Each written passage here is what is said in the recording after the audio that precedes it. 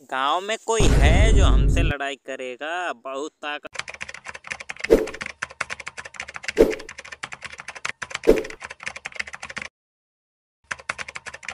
गाँव में कोई है जो हमसे लड़ाई करेगा? बहुत ताकत आ गई है मुझमें। मुझसे लड़ाई करने वाला लगता है कोई गाँव में है ही नहीं। कौन है बे? जिसने सवेरे सवेरे जगा दिया मुझको। कौन लड़ाई करने को कह रहा है? आजा मैदान में देखता हूँ किसमें है, कितना दम। आज पता ही चल जाए कौन है सबसे ज़्यादा ताकतवर।